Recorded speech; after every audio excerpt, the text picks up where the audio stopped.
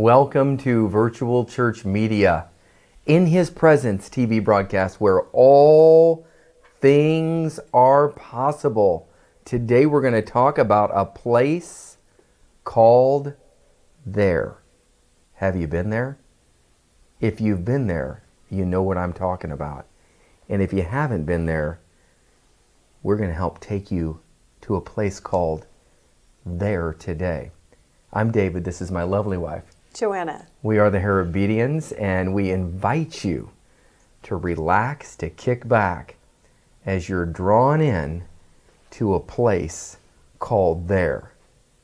Joanna, would you please just play those piano keys and usher in Thank you, Lord. the presence of God? That's right. Will you take us there? We are there. To a place called there. Thank you, Lord. I just pray over you right now. I bless you in the name of Jesus. And I release his presence and his glory over you right now. To wash away all the stress of the week, of the month, all the things that have been going on in your life right now. It's a brand new season. It's a brand new season, and God is taking you to a place called there. And that place is in His presence, where His love reigns, heart is for you. So close your eyes and just let the presence of the Lord flow upon you right now in the name of Jesus. Holy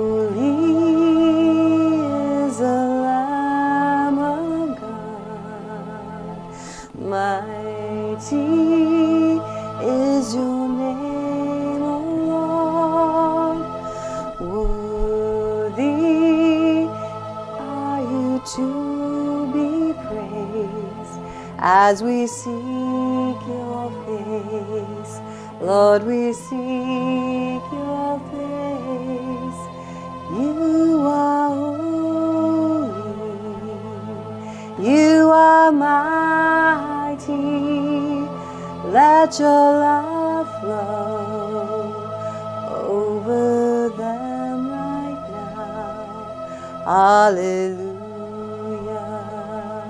Hallelujah. To the Lamb. Thank you, Lord. Amen. Thank you. A place called there. There is a place called there. Where is there? When you get there, you know it. If you've ever been there, you know what I'm talking about. There is where God is at. There is the place where God met Adam in the cool of the day in the garden. There is where you receive from God. There is the day and the place of visitation. The place called there may be different for you than it is for me. It's where God shows up and He meets you in your individual point of need and carries you out of the circumstance and into the victory. Where does He do it? He does it there. A place called there. The place called there may be different for you and me, but there is available for every person. He meets you right where you're at. I can remember times when I got a phone call and somebody said, David, would you pray for me? And as I began to pray, I couldn't feel God's presence. But I stepped out in faith, and when I called upon His name, instantly we were in a place called there on both sides of the phone. The glory of God came. What became a situation of fear became a situation in a place called there, where His peace was released into the situation and shift happened right there. Where? There. A place called there. There is where we experience God. There is where we are changed into another man. Saul, who became King Saul in 1 Samuel 10 6, he was out looking for donkeys. But then he met Samuel, who prophesied to him. He said, This is what's going to happen. And he named five things. And when those things came to pass, Samuel, the prophet, had released the word of the Lord. And Saul, a donkey chaser, the Bible says, the Spirit of the Lord came upon him there, and he was changed into another man. Saul of Tarsus in the New Testament was out killing Christians thinking he was doing God a service. But Jesus met him on the road to Damascus, knocked him off his high horse of pride, and right there, he was changed from a Christian murderer to a Christian who was willing to die for the name of Christ. That's how quick it can happen in a place called there. There is also where revelation is available. Revelation chapter 4, verse 1 there was a door opened in heaven, and a man said, Come up here, come up higher, come up hither. There's a door of revelation opened where? A place called there. There is where we get mastery over the flesh. Jacob wrestled with God over the ford Jabbok at a river, and he met the Lord, and he wrestled with God, and his name was changed from Jacob, which means deceiver, manipulator, supplanter. His name was changed to soldier of God. Where did it happen? It happened there. A place called there is where the prophet Ezekiel was at the river Chebar and he encountered the Lord. Where? There. There. Where are you at today? I call you into a place called there. Ezekiel 32 22. And the hand of the Lord was there upon me.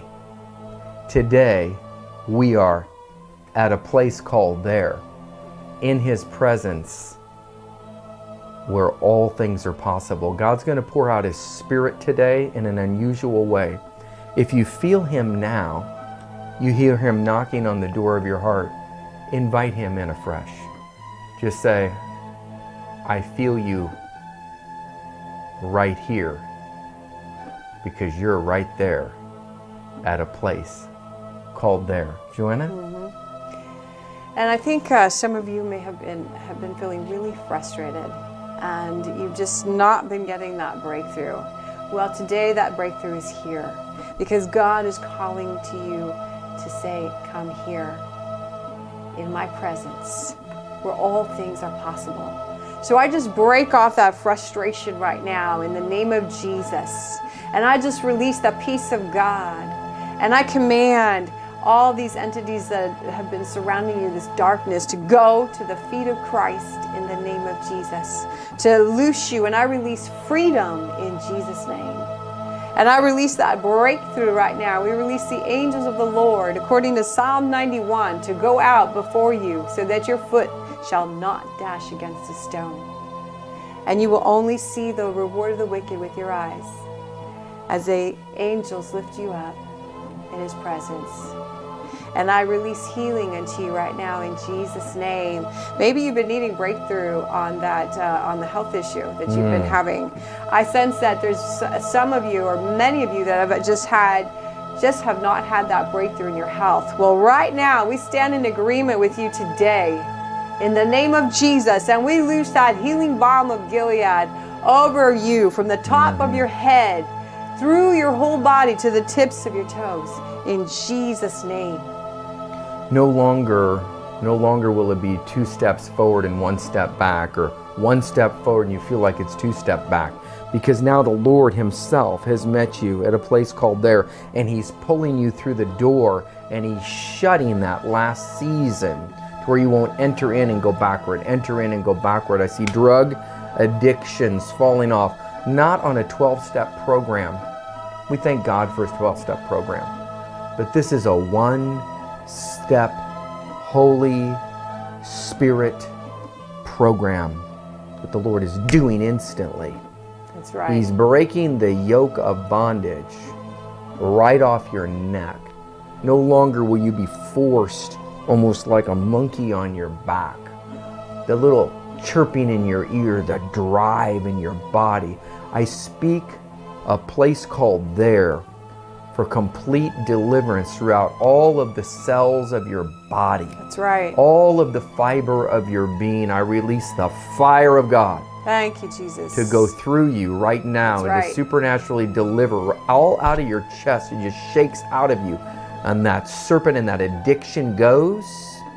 That's right. In the mighty name of Jesus Christ of Nazareth, the Son of the living God. 1 John 3 8. For this cause was the Son of God made manifest that he might destroy, to annihilate the works of the enemy. He loves you just the way you are, but he loves you way too much to leave you in this current condition. But at a place called there, he's met you right there where you're at. Yes. In Jesus' name. And also, there are some of you that your hearts have grown cold because you've been so frustrated, and that frustration has turned into a hindrance of your healing. So I invite you today to just repeat after me and say, Jesus, I repent for allowing frustration and blaming you to cloud my heart. Forgive me, Lord. Cleanse me afresh. Renew my mind. Renew my heart today. And fill me with the Holy Spirit. I give my situation to you. And I choose to trust you, the good God that heals me and touches my soul. In Jesus' name. If that was you today, then right now I just release the fire of God over you in the name of Jesus. Mm-hmm. And for his presence to fill you like never before. And those binds of frustration must go. We cut them off right now in the name of Jesus. And we release freedom. Freedom. Sing that song, Freedom, Freedom, Freedom, Freedom. Freedom reigns comes, in here it this comes. Freedom reigns in this place. Shackles of shame are coming off. Shackles of shame are falling off right now, Lord. Freedom reigns in this place. Freedom reigns in this place right now. Healing, it is flowing.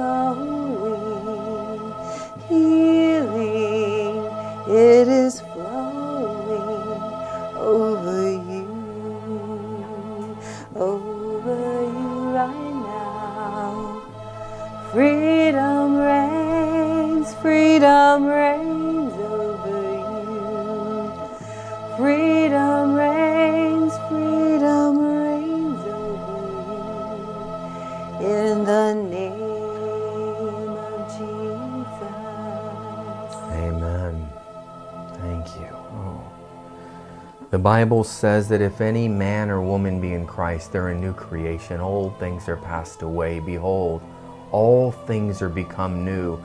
The word new creation literally means a new species of being. You're regenerated on the inside, where your desires are supernaturally changed through an encounter with the risen Christ at a place called there where he met you, right there where you're at. And he infuses you with a new DNA. No longer do you have the old nature, but you have a new nature on the inside, the nature of Christ in you, the hope of glory, Colossians 1:27. For in him we live and we move and we have our very being. Ezekiel 36:24 says, "He will take out your heart of stone. He will give you a heart of flesh. He will put his spirit within you, and he will supernaturally on the inside of you move you to follow his decrees and to keep his commands. His commands are not grievous. Religion's commands, might be grievous, but His are not. And religion requires you to do things that you're not empowered to do, but relationship with Jesus enables you to do by the power of the Holy Spirit on the inside of you, enables you to do far right. more than you could ever do in religion. Religion crucified Jesus, relationship with the Father reconciled humanity back to the Father through Jesus. Are you tired of religion? Are you tired of do's and don'ts? Are you ready to reach out and take the hand of the one who said, It is done? It is finished. He never said on the cross, to be continued. He said, It is finished. Bill paid in full. Receive me in, and I'll infuse you with more power than you could ever find in the world, more power than you could ever find in witchcraft or the occult or any religion. This is relationship based, where you're a conduit of heaven into the earth. You are the gate of heaven. If Christ dwells in you, nothing is impossible with Him. And when you're in alignment with Him, nothing is impossible with you, for you, and through you. For it shall be done in earth as it is in heaven through your vessel of clay. Will you allow Him to change you now That's right. into the image and likeness of His Son supernaturally? Right here. Where? Here, which is a place called there. That's right. I'm also getting that um, some of you have been in a marriage that hasn't been fulfilling. Um, your spouse has, really your heart has grown cold towards your spouse.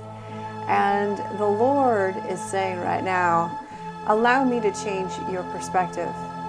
Let me give you the perspective of heaven and repent of the thoughts that you've had towards your spouse. You see, once you're able to hand that over, and instead of looking at your spouse and seeing all the things that are flawed in them and what they've done wrong, because there are things that they're not perfect and they have done things that are wrong. But the Lord wants you to move, come into higher ground today in that. So, Lord, I pray for these marriages right now where the spouse is not happy, and neither one is happy, and they become each other's enemy, and they become cold towards each other. And Lord, right now I pray your fire in Jesus' name. Mm-hmm. Redemption. I release redemption and restoration. Repair of the breach. Repair of the breach. Repair to the damage that's been done in each other's hearts. Forgiveness. And forgiveness to abound. And for you to be the first person to change. You can't change your spouse, but you can change yourself. You see, we can't play ball unless we throw the ball back and somebody throws the ball back at us. Well, you guys have been playing the all old ball game. And the Lord says, I'm changing the game. And now I'm changing the ball. And I need you to change that ball today. I need you to change the game. And it starts with your own heart. So, Lord, I pray where there's been bitterness and hardness now, that you would shift that. Make their hearts soft. Let it abound, overflowing with the rivers of your presence. That song, Let Healing Rain, Let Healing rain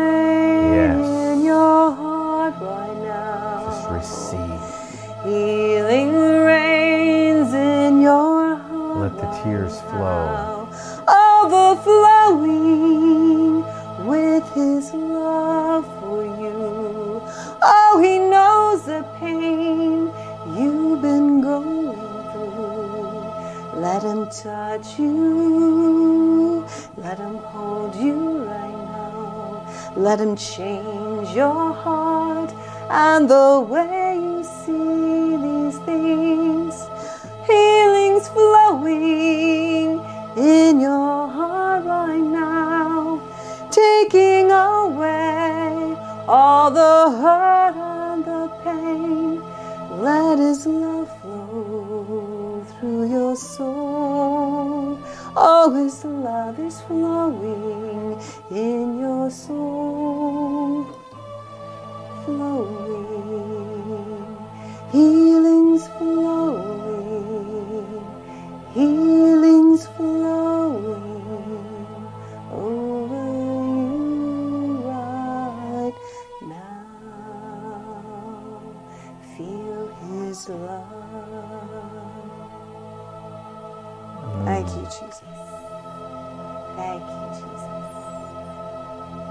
Do you feel His presence right now?